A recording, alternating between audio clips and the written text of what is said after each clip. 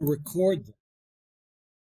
So there is a recording on this, and I don't know what the official wording is when you record it, but I will tell you I've heard it many times. I pretty much know what it is, which is uh, to make everybody aware that this is a that we are going to record this, not to catch anybody at anything. It's just simply so that we can help others with this information. So if you don't want to be on a recording, this would be a good time to drop off. Um, with that, I'm going to begin by uh, telling you that I am Bob Siegel. I am the catalyst with the 5G Connected Future Incubator from which is part of the ATDC, the Advanced Technology Development Center at Georgia Tech. I am located here at the beautiful Curiosity Lab, which is a phenomenal facility for entrepreneurs, for startup companies to work at uh, not only at low cost, but you, we have 5G millimeter wave here as well as regular 5G, and a workshop and working spaces and all that. Um, so with that, um, with that little bit of a commercial, oh, by the way, I'm sponsored by Peachtree Corners and T-Mobile. Um, we had a we have a, a, regular, a monthly roundtable with the 5G incubator, and a number of questions came up about how to um, how to get access to federal funding. And one of the great things about ATDC is that we have resources like Connie Casteel, who's here with us today, uh, who knows about this stuff. And we also have coaches, catalysts like yours truly, who know how to get, who know how to reach Connie and get her a meeting. So what I am going to do here is I'm going to go ahead and turn this over to Connie. And um, we seem to have some people stuck on another bridge, so I'm going to try to circulate the new bridge number to those folks while um, Connie goes ahead. Uh, with that, Connie. Hi, good morning, everyone. Glad we're finally getting connected. It's Monday morning. Uh, first thing I want to do is uh, we got some feedback coming from some people, so if you can go ahead and mute. Um, I think especially as Andre, uh, getting a lot from you. So if you could go ahead and mute yours, um, that's much better. Thanks, everyone. Uh, so we're going to have a time at the end for questions, uh, but I'm just going to go through a presentation. It's it's it's going to be a fire hose, a lot of information, um, and you're not expected to remember everything, but just give you a starting point. So let me go ahead and uh, share my screen. So okay, it's disabled. It says so I can't share my screen. So. so Bob, uh, I am going to give you the power to share your screen and you should have it now.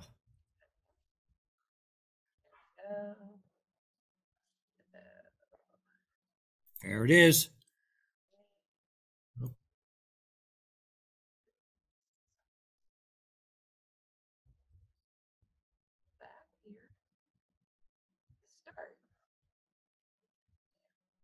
Can everyone see it? Yes.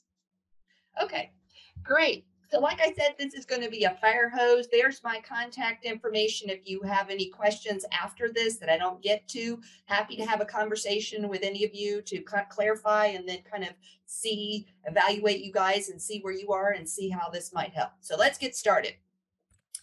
So you see this uh, message in a bottle. Sometimes a lot of people feel that getting federal funding is kind of like throwing a bottle in the ocean and then hoping it gets to the right place. I mean, it's a vast amount of uh, information and it's very complex.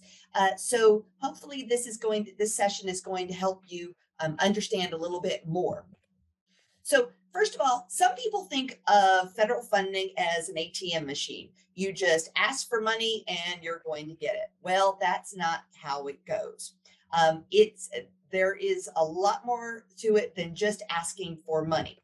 There's actually a roadmap to funding. And unfortunately, it looks like this. Uh, so I am here to just show you where to start and give you some direction um, where to go and where to go next. So let's get started. First, there's a need. You guys have a need for money. There's a reason why you're looking after money in the beginning. Well, there's also a need from the federal government. There's a reason that they're giving you money. It's they, like I said, it's not an ATM where they just say, "Oh, it's free for the taking. You guys take it." So there's a need. So there has to be also a purpose. What is the purpose for the the funding that they are going to provide? What is the purpose that you need the funding for? And both of these need to match before you can actually go after some funding. So, first of all, you need to figure out what you need the funding for. There are some major categories of funding that are available. And so I'm going to briefly go over some. Some might apply to you now, some might apply to you in the past, some might apply to you in the future. The first major category is research. This is like we have Ben Franklin over there who put a key on the end of a kite and went out in an electric storm, and there was all of a sudden there was a thunderstorm, and the key the it got the kite got struck and it carried electricity down to the key. He discovered electricity. So research is discovery. It's open-ended questions that are just like, what happens? Let's just experiment. A lot of the funding that's available for research goes to straight research goes to um, academic institutions or universities. And this is sometimes called basic research. It's scientific, technical, what happens if something happens, if I do this. The next category is called research and development, also called applied research. This is where you have identified that from your research or from someone else's research, hey, what happens if we apply this to a certain problem?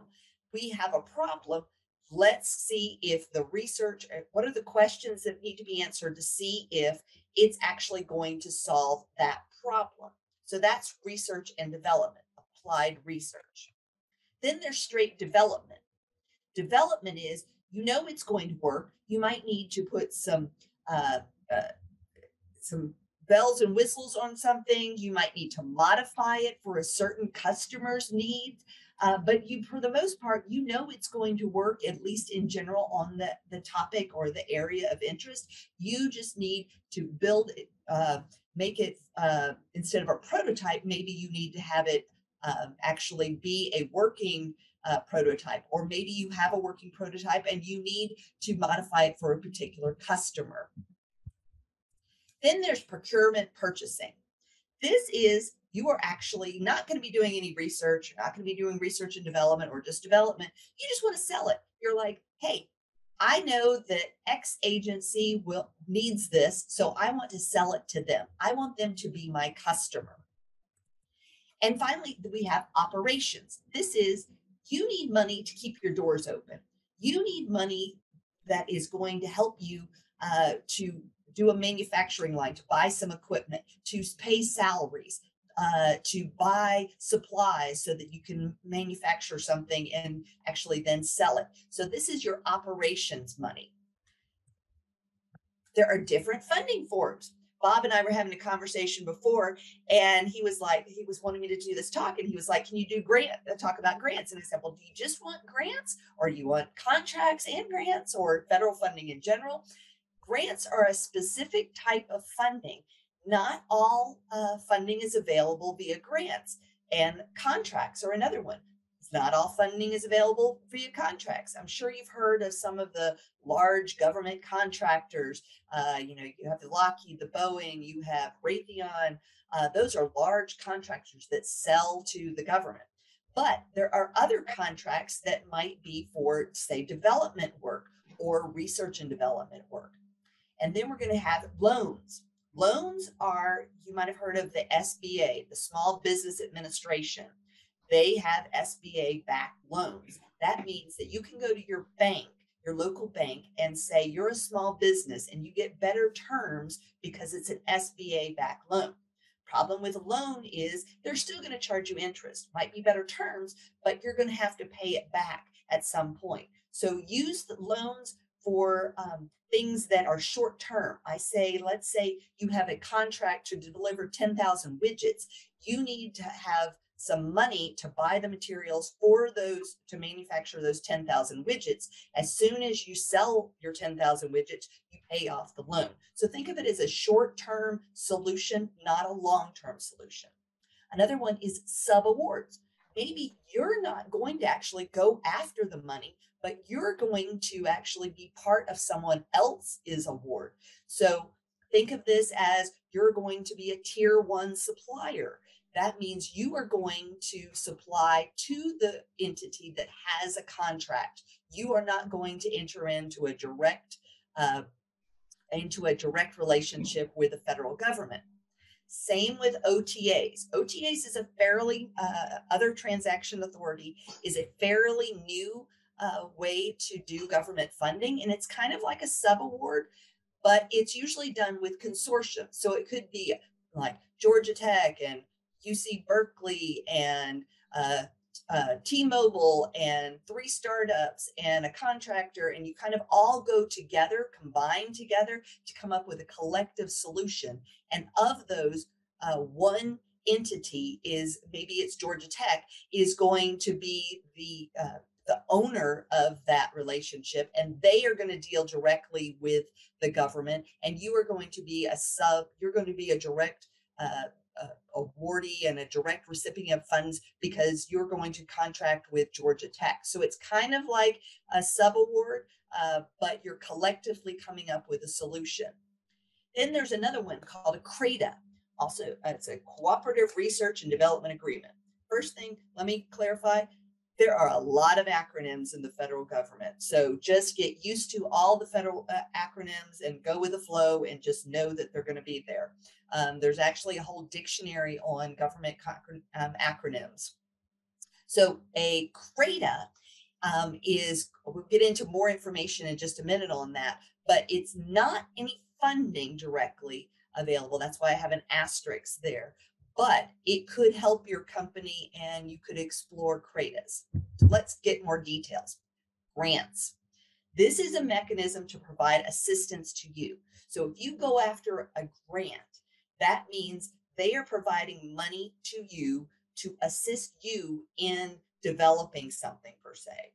Um, it's it's it's usually going to be some benefit to society. So if you have a medical device that is using um, you know, it's an autonomous robot for doing surgery. Uh, the surgery, the National Institutes of Health is not going to buy it from you, but they want to empower you to actually uh, do the research, the research and development, the development to get this out into the hands of the surgeons so that your surgeries uh, can be uh, done more effectively and more accurately. Um, the scope of work this is what you're actually going to do with the money um, are usually is more flexible. The budget is more flexible. There's still structure but it's more flexible than say a contract. Um, and sometimes it allows you to get the money up front so you might get it it allows for it but it might not come up front but it does allow say you might get a third up front a third halfway through and a third at the end but it allows the, the government to give the money to you um, up front. And there are regulations, as I mentioned. And for grants, that's going to be the Code of Federal Regulations and the Office of Management Budget Regulations, OMB, which comes from the White House. So these are the guidelines that are set for grants. Um, there are sources of grants. We've talked, we're talking federal, but they're also state um, local might be from a chamber, it might be from a, uh, a city, it might be from a county. There are also grants that come from foundations. Usually, foundation grants um, are not going to go to for profit entities, but there are exceptions. Um, it could also be for uh, from nonprofits uh, that you know you could you could actually tap into some of this money. And then there are some large corporations that have philanthropic arms that also give out uh, uh, funding for grants. In contrast, we have contracts. Contracts are a legally binding, uh, agreement that you're going to deliver something in exchange for what they call consideration. Nine times out of 10, that's going to be money. So you're going to build something, you will send in an invoice and you'll get payment for it. It is, while it could benefit your company or your, you as an individual, if you're a researcher, it's usually benefiting the funder. So they have a problem per se, and they want you to solve that problem, whatever that problem is that they've defined. And if you can solve it, they will pay you for it.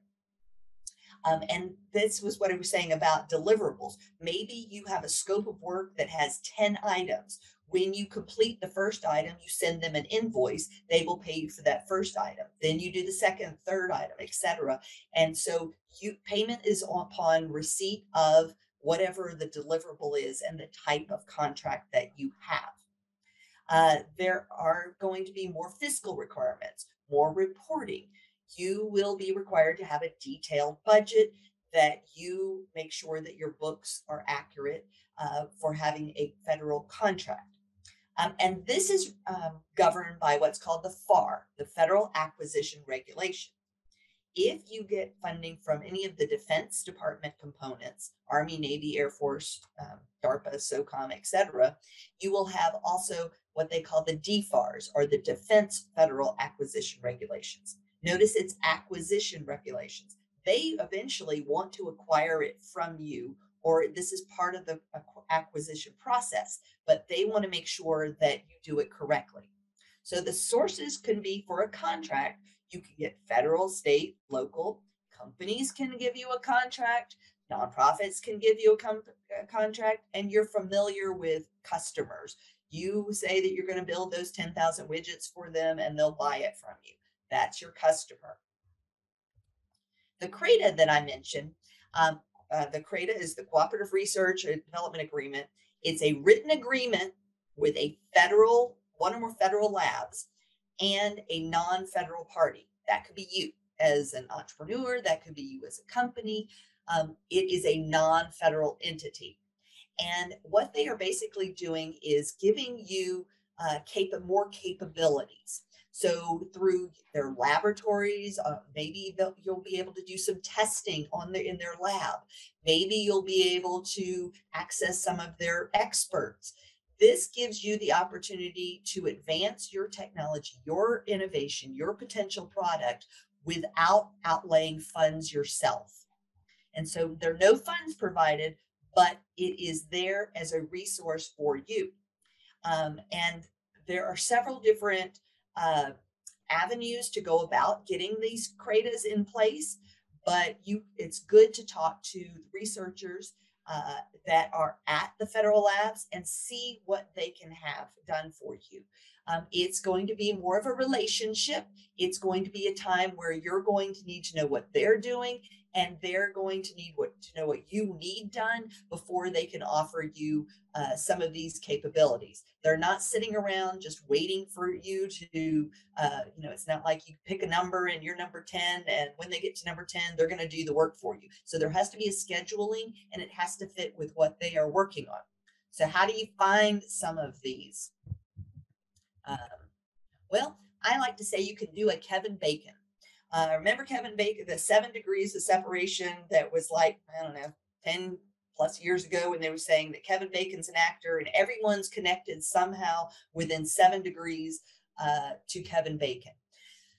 So this is an example right here. This 5G enabled energy innovation advanced wireless network uh, was for federal labs. This was funding from the Department of Energy that went to federal labs to do work uh, on the 5G. So you would not get money, but I looked and I found who were the awardees of this funding. Well, we have here the Brookhaven National Laboratory. Uh, all these different laboratories received this Department of Energy funding. So again, you can't get the funding, but right here, here's the name of the, the actual award, 5G enabled, reliable, and decentralized IoT framework with blockchain if you're working on something like that, hey, maybe you can reach out to the Brookhaven National uh, Laboratory and say, let's develop a relationship I have some work that needs to be doing done in this area. Maybe you can do this for me or help me assist me via a CRADA. So work backwards and see who's received the funding um, for this or any of the federal labs. Um, and then you can see if you, that's might fit with what you're doing. You can also just do a search on what the federal federal labs are uh, there are resources out there that tell you what they're, they're working on, but sometimes it's hard figuring out who to contact. So this gives you the PI that tells you who at that in, at that um, federal lab is actually doing the work. So this is a chart that kind of balances out what I just went through. And I'm we're going to send these slides out afterwards, so don't feel it's an eye chart to read right now. But it kind of gives you a comparison of you know Previously, I was just doing it on each slide, and this gives you a side-by-side comparison. So I briefly mentioned foundation grants. So foundations are out there that give grants. However, foundations usually do not give grants to for-profit entities. They give grants to uh, nonprofits, to schools, to community groups, to uh, groups that are benefiting society more. Uh, so, but you can sometimes, if you're doing something in what's called a social, uh, you know, social entrepreneurship, there are cases where the foundation can give funding uh, via what they call PRIs or program related investments. So it's kind of a cross between a grant and a loan uh, where it is low interest, but you're going to pay it instead of going to the federal government, you're going to pay it to that foundation. So maybe the American Cancer Society, the Bill Gates Foundation. Uh, you know, these are entities that you might explore looking at. And then there are the philanthropic organizations that I mentioned.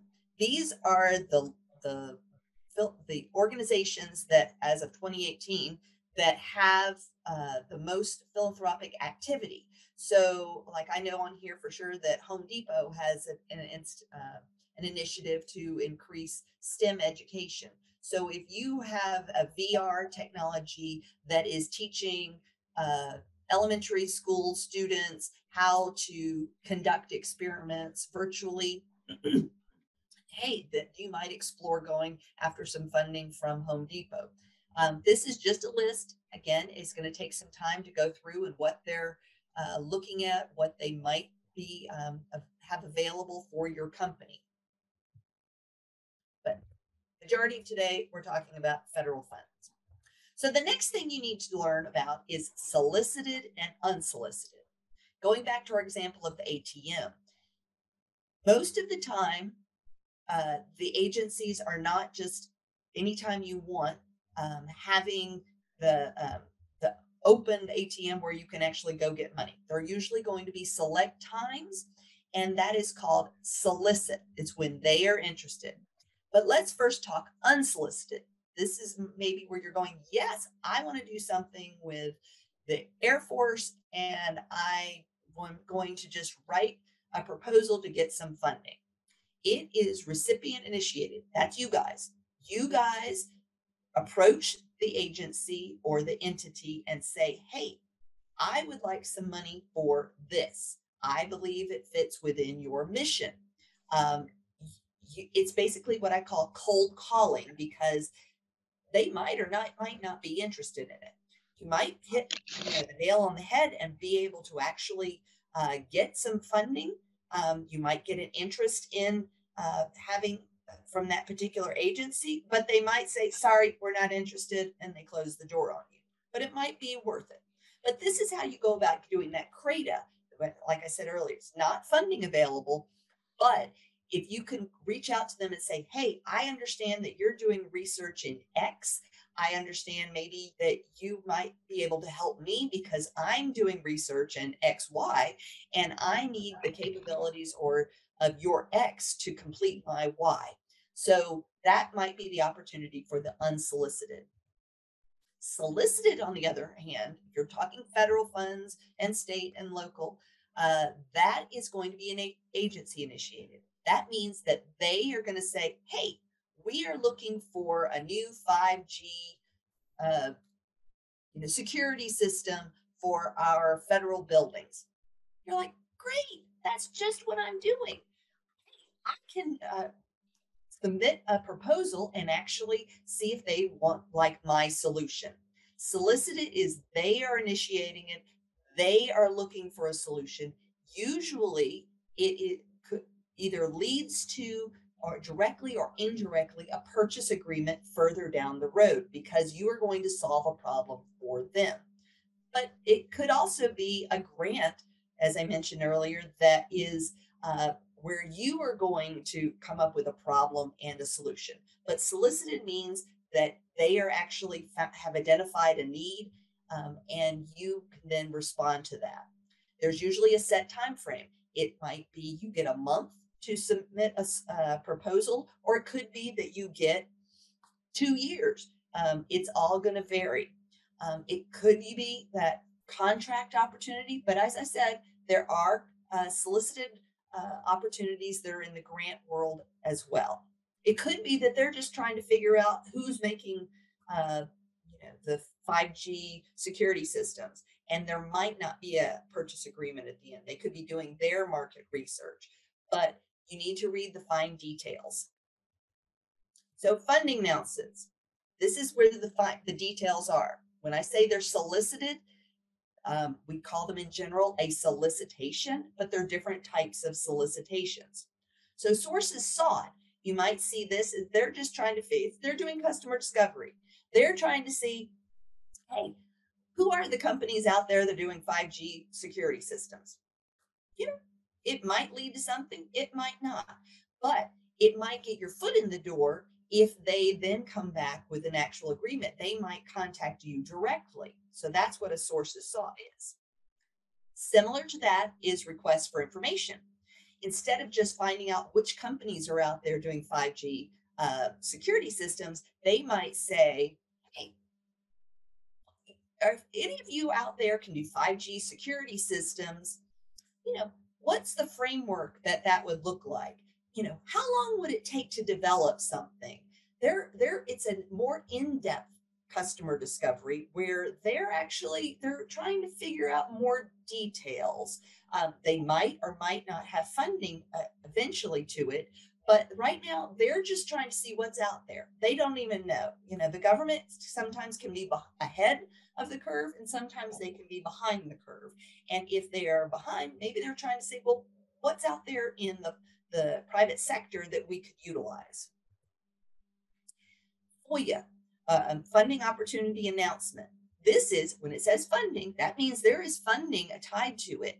They are actually saying, this is what we are going to pay you for if you can propose something we are interested in the fo- uh, it's a funding opportunity.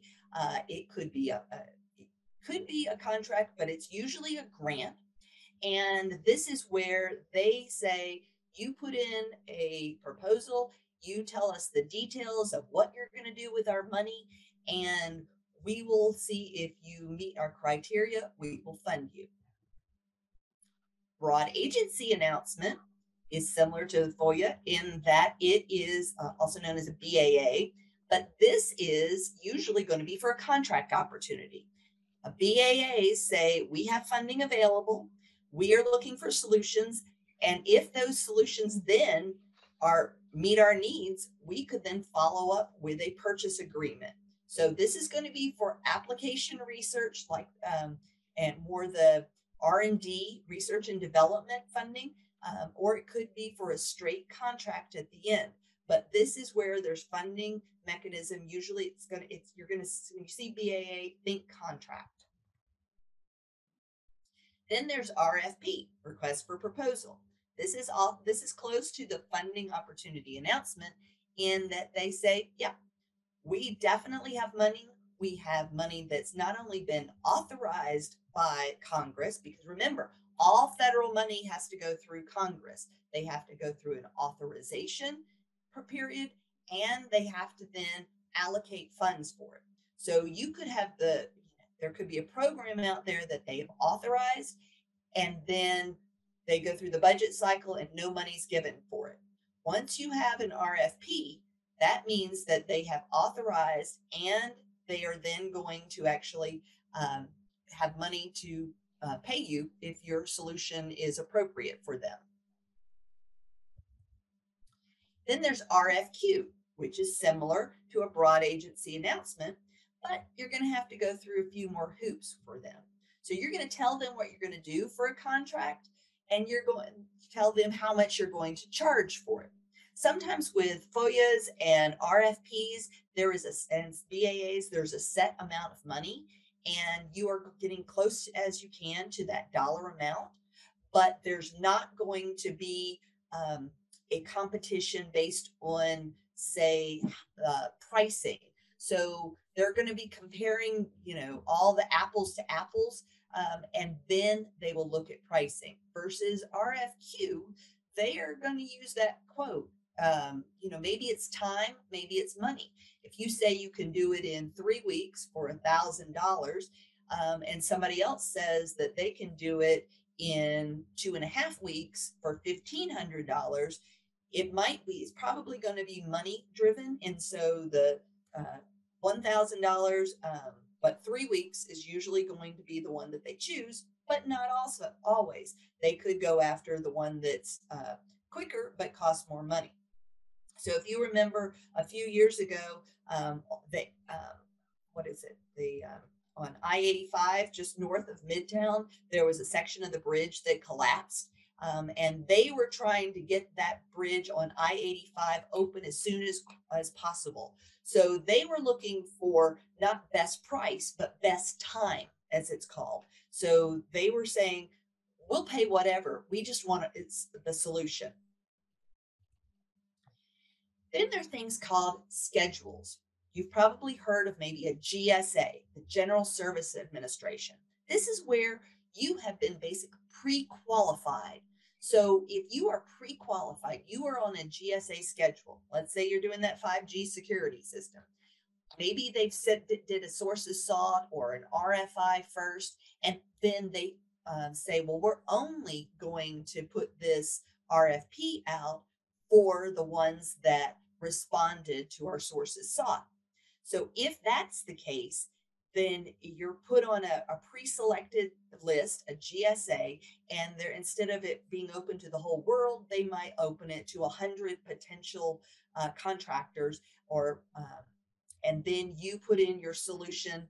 Um, it might still be an RFQ at that point, but your pool is smaller that your of your competition, um, and you've already been pre-qualified. So supposedly it goes quicker, but it is the government. So let me tell you, anytime you're going after government funding, it's going to be a, a, a process and that might take longer than what you hope for it to be. So eligibility. First, you have to think if you're eligible. In all of those, the sources sought, the RFP, the FOA, the BAAs, there's going to be a section that's going to call be called eligible or eligibility. So, uh, are you know, is it only open to universities? Well, unless you are a university, you're not going to be eligible for it. Or it could say it's a small business set aside. Hey, that qualifies. Yeah, maybe I could go after that funding. Maybe it's for private companies. Maybe it's for nonprofits. Be sure to look at what the eligibility is if you can apply. But if you're not el- eligible, think should you be the lead applicant?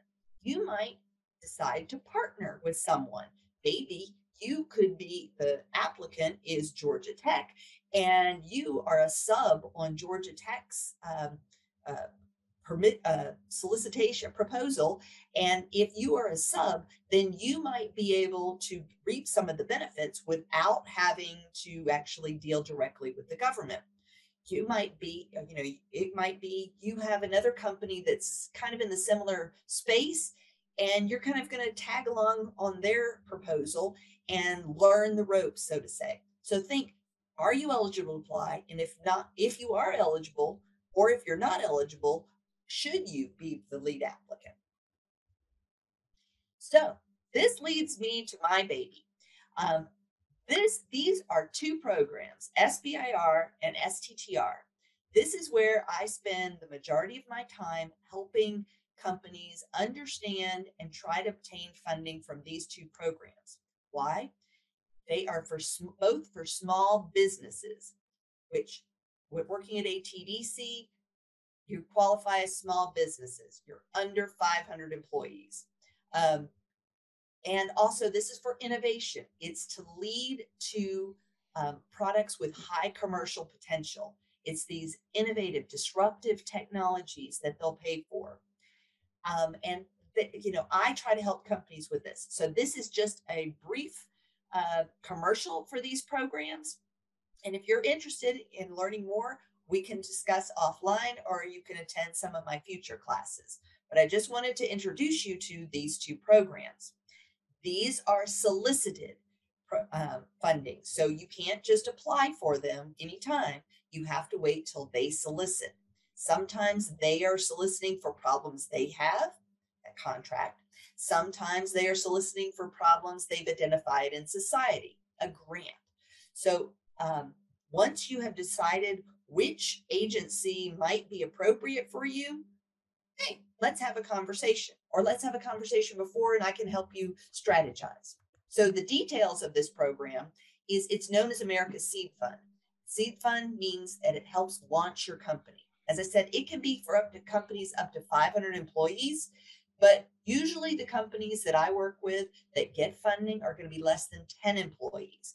But if you uh, need help uh, getting some of the funds, then you you might wait now. If you don't, if you want to focus on what you're currently do, doing, this might not be for you, or you might use it as a mechanism to actually launch your company, um, or you could use it as you know years down the road once you have an established company and you uh, say, "Hey, I want a second product line, or a third, or fourth product line." This might be for you.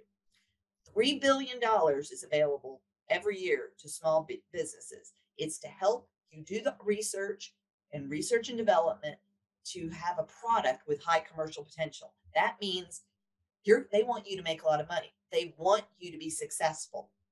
There are 11 agencies that participate in SBIR, and of those, five also participate in STTR.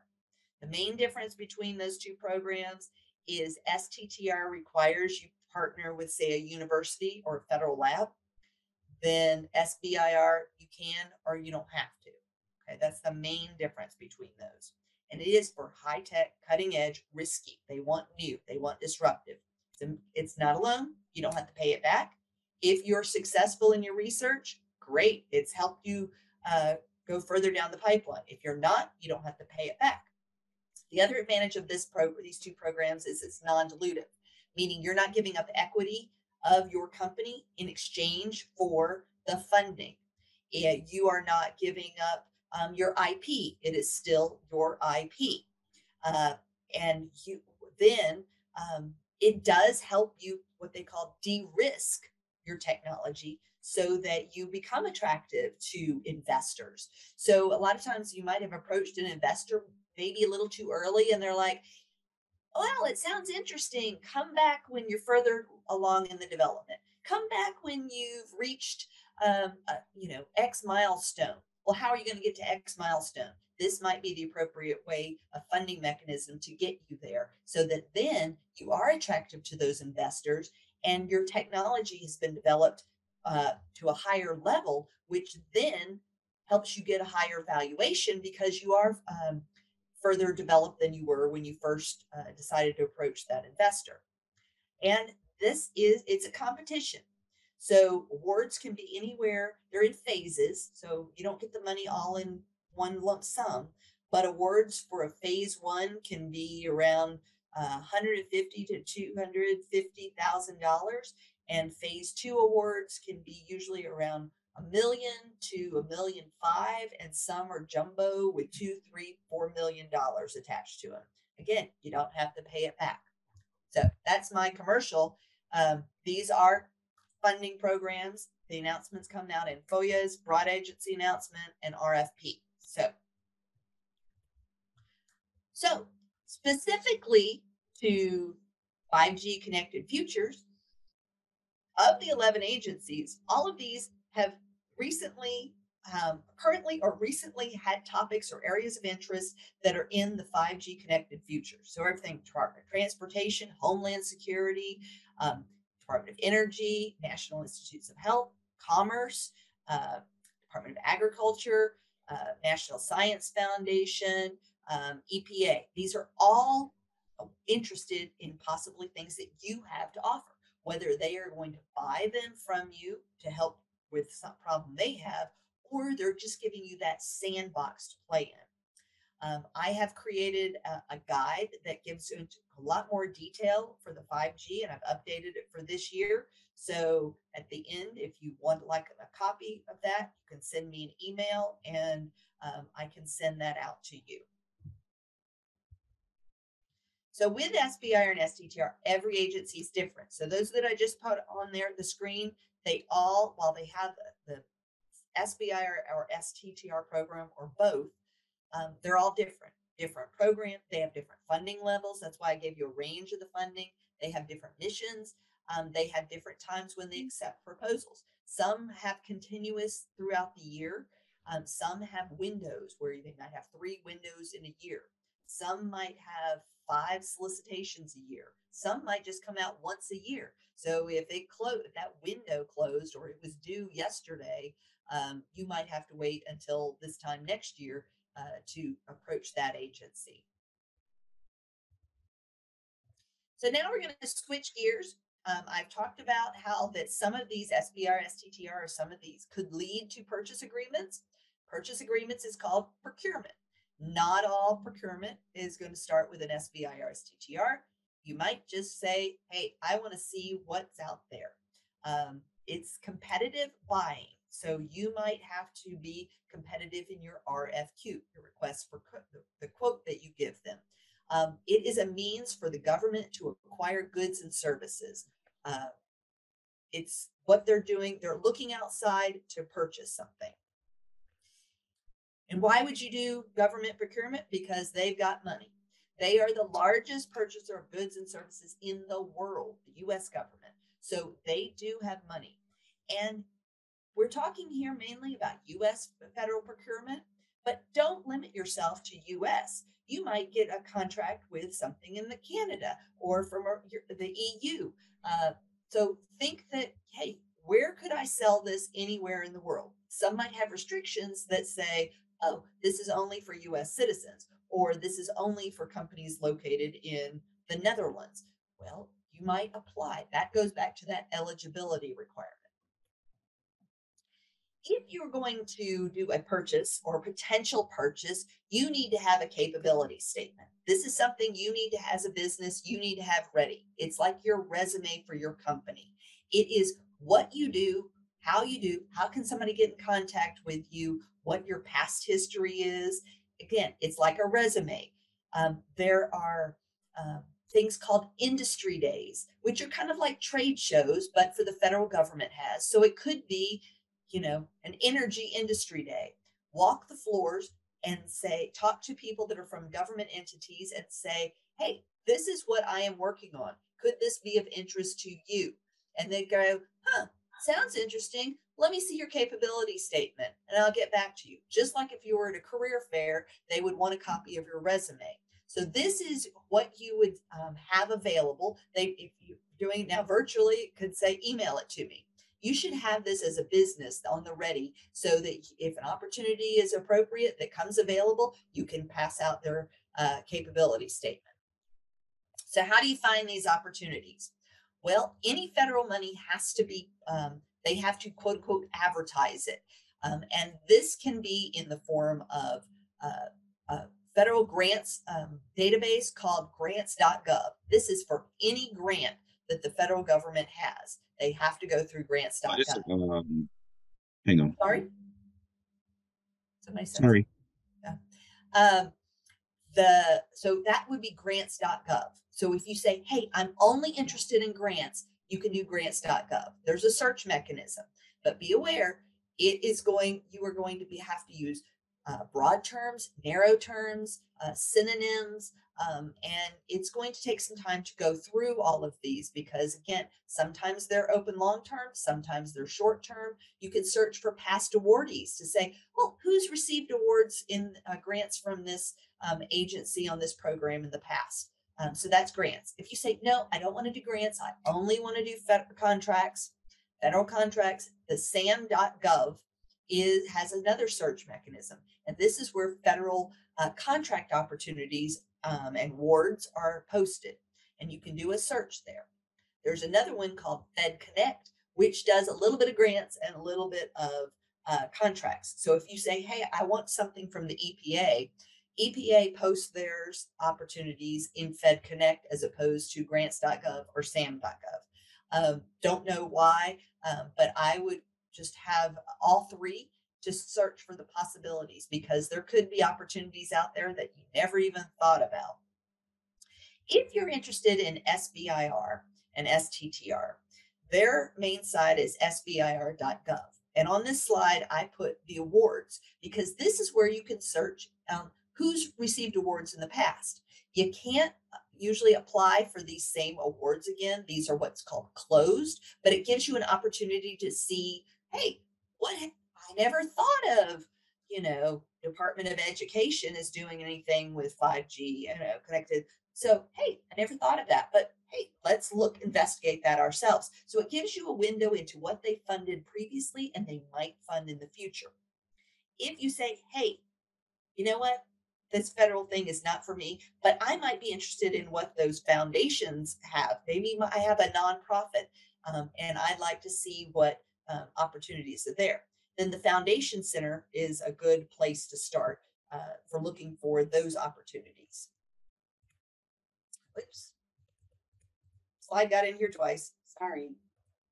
Okay, so what's next? Go ahead, put your foot, step, put your little toe in the water and, you know, see what to do. Um, it might be for you, it might not. But first, go back and decide what type of funding do you need? What is the reason you are looking for funding? Is it for research, research and development? Is it procurement? Are you looking for operations money? What is it that you're looking for? Why, why, what type do I really need? Okay.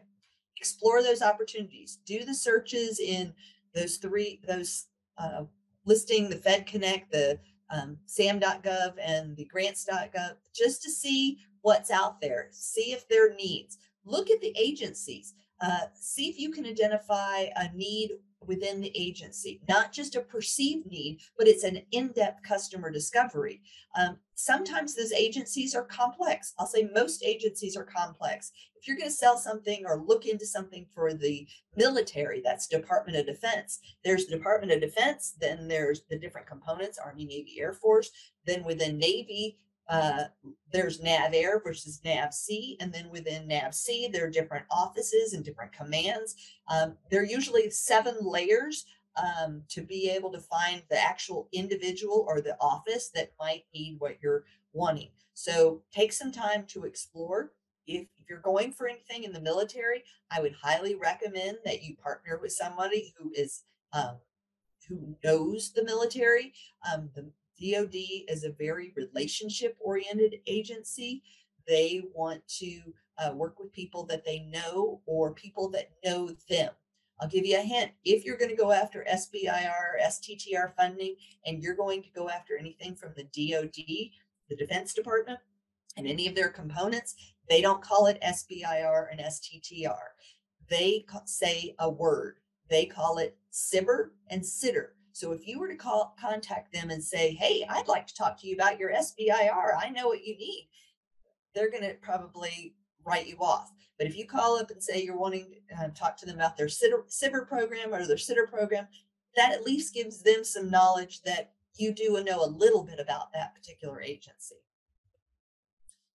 Again, this is that develop relationships, whether it's contacting the agency directly or working with one of their contractors. A lot of the agencies are actually staffed by uh, contracting companies um, that work full time for that particular agency.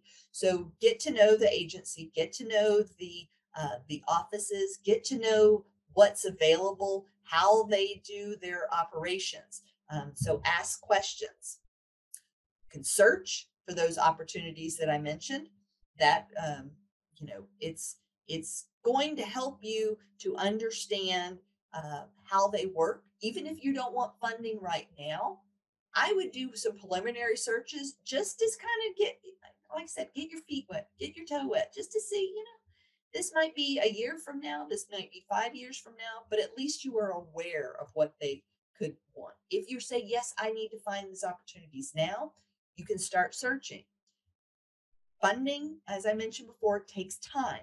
So you might say, hey, I have identified a, a, problem right now. There's an open funding announcement. It's going to close June 30th. Um, and then you will probably get the funding maybe by December. Or if they're doing it rush, it might be you might get the funding by August. That's rush from end of June to end of August. That is a rush for the government. Um, attend those industry days. Uh, find out if you're interested in, you know, Department of, uh, you know, Agriculture. Find out if they have industry days, if they have local industry days. Now with virtual industry days, they're doing a lot of those. Um, find them, attend them. That way you get to know what they're interested in. We also have another organization um, at Georgia Tech that's a sister organization to ATDC. It's called the Georgia Tech Procurement Assistance Center. And they are a free service to any Georgia company looking to purchase, uh, to make, to sell to the government, whether it's federal, state, or local. And that is all they are dedicated to is help you with contracting issues, help you identify, help you compete. Um, so if you say, hey, I just want to sell, I highly encourage you to uh, contact them. They have what they call counselors um, all over the state, and um, they have a variety of backgrounds. And you can look on their website under their team and reach out to them um, for their help, or you can talk to me and I can give you an introduction. Um, if you're a member of ATDC, I have a Slack channel. It's called uh, SBIR-STTR-funding. And when I see specifically SBI or STTR uh, funding announcements, as well as some others, I uh, post them here. So, uh, you know, that might be a way just to monitor that site, just to see, oh, I didn't realize that DOT just opened something. Now maybe I can explore that. And you can speak to me. Yeah, that's what I'm here for. Um, I have office hours available. Um, uh, you know, you, twice a week. I have different time slots. You can reach out to me. We can have a call. We can have a you know, Zoom. I can learn more about what you're doing, and I can guide you and say, yeah, you're not going to do R and D, or you can do R and D, or oh, you probably just need to go for procurement, or hey, let's try this agency first, and then another agency. Um, so let me know. And you can watch the ATDC calendar for related classes. For example, on the 30th of this month, I am having another class um, and it's called partnering to increase your capabilities. So this is, you know, going to be specific to how can you increase capabilities by, you know, using other resources from other partners. So that is my presentation. Um, it was just hopefully give you some buzzwords that you can at least say, oh yeah, I've heard that term before, but um, I know we're kind of running out of time. We started a little bit later, but I just want to um, say if anyone has questions, I can try to answer it. If you want me to, that's my contact information. If you want to send me an email, uh, and if you'd like a copy of that 5G Connected Futures guide that I created and updated this year, uh, let me know and I can send that out to you as well. But uh, and let me jump in right before we go to any questions. A couple things real quick. So one is um, we will we will get this posted so that those of you who came late, there was some kind of issue. I don't know what it was, but some of you got the wrong URL, including Connie and myself. Um, so we will get that out. We will I'll make some arrangements, and also if um, if you're interested in these documents, let Connie know or let me know if you are if you want to send uh, I've seen two questions in here. I will send those over in the chat window. I will send those over to Connie and we'll get back to. everybody. Um, Connie, do you want to have them send questions to me and I'll just compile them, or do you want the questions straight to you? Either one, um, uh, I, you know. I- Okay, I- just go straight to go straight to Connie with questions. Connie, that was fantastic. And if there's any time remaining, I'll open it up for questions. Yeah. Uh, You want to hit that first one, talk about finders, brokers for SBIR, STTR opportunities and contracts. brokers. Uh, so when you say finders brokers, um, there are companies out there that are uh, grant finders. Um, that that's what they do. You can pay them money uh, to find them. Uh, there are grant writers out there. I am not a grant writer. I'm not a proposal writer. I'm a guide. I'm I'm here to coach and to guide. Um, but there are companies, and you're going to pay them for it. Some have, um, you know, success records, uh, but you know, unfortunately, you can put in the the perfect proposal and still not get funded because maybe they didn't have enough money to go around. Maybe um, you know there were a lot of proposals and yours was very good but not excellent. Um, so even if you pay someone, um, you know there's chance that you still won't get the, the funding but there are companies out there. There are also companies out there like grant administrators. There's a lot of pre-work that you have to do before you submit a proposal. You have to register your company in several different databases and sometimes it's easier for you to say hey you guys take care of it. I'll pay you $500 and you uh, do all the registrations for me. There are companies like that out there. So if that's uh, I have a list of potential grant writers. As a state employee, I can't say you need to use this particular company or this particular grant writer, but I have a list of AT of companies that ATDC has utilized or consultant grant consultants um, that they've used in the past that I would send to you. Send me an email. Happy to send that out to you as well. I don't know if that answered your question. Okay. I think that covered both T and Laura's question on there. Okay. So uh, let me ask if there's other questions and let's keep them real concise because of the time frame.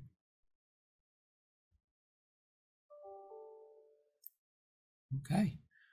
If you want to follow up, you can go through direct to Connie or I will pass it on to Connie. We will get you the documents. I will get you information on the recording. So especially those who came in late or like me, it was such a fire hose. I'm going to go listen to Connie. That was fantastic, but there's so much there that I'm going to go back through it another time, just so that I know very quickly when to answer a question. Go talk to Connie. Happy to do it. Um, so, like I said, let me know if you have questions. I'd love to have a conversation with you. Thanks again, Bob. Thank you, Connie, and All thank right. you all for joining us. Bye, everyone. Take care. Thank you. Bye. Bye.